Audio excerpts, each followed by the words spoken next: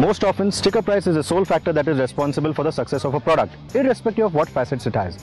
And who knows this fact better than the Chinese, who have been constantly flooding markets with low-cost products that instantly make life difficult for the competition. Unlike most other product segments in India though, automobiles are something that the Chinese haven't had their influence on. But now that is about to change because what we have here is the new Chevrolet hatchback that is developed by the Shanghai GM Alliance.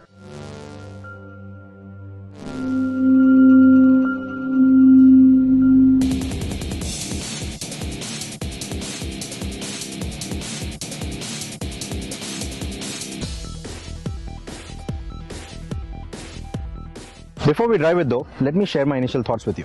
This car is called the Sail U-VA. You see the name comes from two well-engineered but not so successful products from GM India's portfolio, the Opel Corsa Sail and the Chevrolet Aveo U-VA. Now, using that name sounds like a brave move and looks like General Motors India has taken its own sweet time to build up all that courage. Look at the car and you'll know what I mean. The car looks outdated even with all the shimmering polish and more so when it's going to share showroom space with cars like the Cruze and the Beat.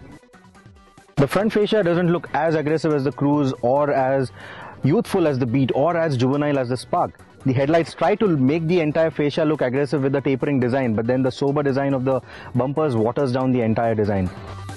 Then there are the creases around the fog lamps which look like an afterthought and something like the dings you see on the bodywork of a car that frequents public parking spaces. The shoulder line flows from bottom of the tail lights into the wheel arch, aiming to give the car a tip forward stance. However, if you look at the sloping roofline and the flat tailgate, it gives the car a pulled back look.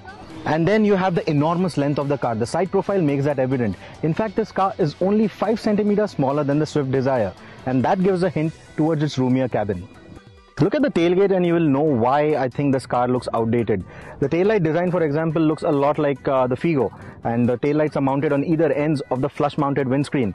However, the entire design looks too uninspiring. It just doesn't look radical or even youthful like the rest of the Chevrolet cars.